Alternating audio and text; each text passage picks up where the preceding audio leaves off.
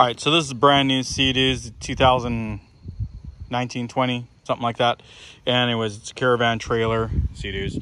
Brand new. Go ahead and move it around. Hear all that noise? Here's where it's coming from. I thought it was the leaf springs over here. It's not. Do it again, keep doing it. It's from all connections like this, and this, and this, and that, and that. You can even see the metal rubbing right there.